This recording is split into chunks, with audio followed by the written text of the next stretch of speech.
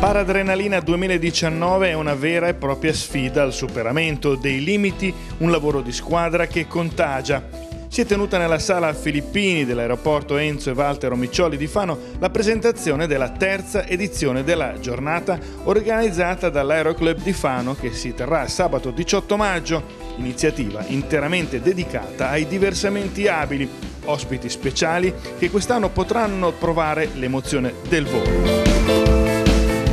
Paradrenalina è la manifestazione regina dell'Aeroclub di Fano che anche in questa occasione vuole ribadire che volare è un'esperienza che lascia il segno e che dovrebbe essere alla portata di tutti.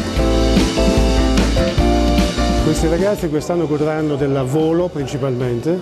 e quindi potranno inebriarsi con un voletto qui nei dintorni. Dopo il volo c'è anche il drifting con le auto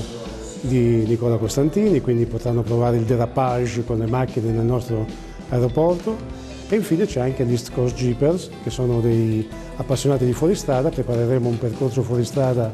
dopo il terzo hangar. Ospite d'eccezione, una macchina spettacolare in dotazione all'aeronautica militare italiana, un elicottero AV-139 del quindicesimo Stormo Sara di Cervia, dedicato alla ricerca e al soccorso. Siamo fieri e orgogliosi di aver accettato questo invito e di essere presenti a Fano all'evento Paradrenalina e porteremo il nostro elicottero, uno dei gioielli della tecnologia italiana e, e la nostra professionalità eh, per presentarci, per rispondere alle tante domande di questi centinaia di ragazzi e ragazze che sono curiosi di capire eh, come vola un elicottero e anche come operiamo noi per la salvaguardia della, della vita umana.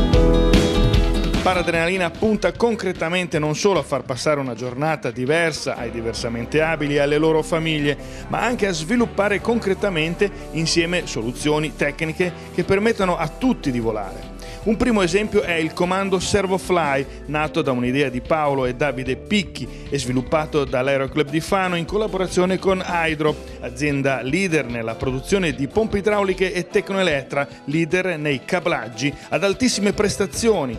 utilizzate anche in Formula 1 e MotoGP. La missione è riuscire a far volare un socio dell'Aeroclub di Fano, Mattia Nigusanti, che ha a disposizione un solo arto, un sogno che così diventa realtà. I sogni si realizzano con tanta forza di volontà e con tanta passione mossa da, dalla volontà appunto di chi lavora per la realizzazione di un progetto che, che abbraccia tutti, oltre che fisicamente, con, con, tanto spirito e tanta energia, per cui tutto è possibile quando c'è veramente la volontà di poter realizzare un qualcosa di grande, nulla è troppo grande eh, per poter essere realizzato.